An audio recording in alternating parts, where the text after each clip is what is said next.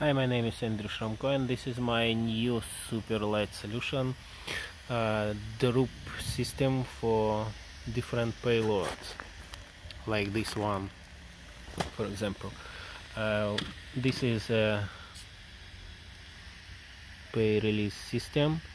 It's for two different payloads one and second one. Uh, how it works? It works using these lights you can turn on turn off it. And here is a sensor.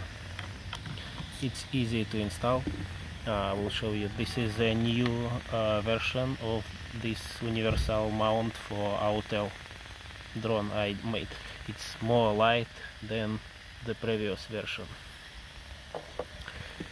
So easy to install.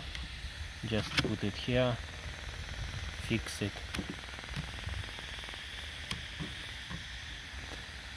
and mount here payload then what you need to do here is on off button if you don't use turn off if you use it turn on. And USB type C charger this battery. Turn on then start flying. When you need to release just go to visual navigation bottom light and turn on the light. As you can see it move and release one payload. Then turn off light and again turn on light. And the second release payload release and turn off the light and go home. Turn off.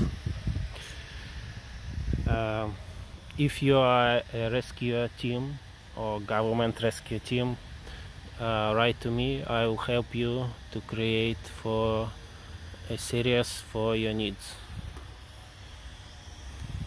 In my previous video I show you in the in the air how it works uh, so I will show you how it works.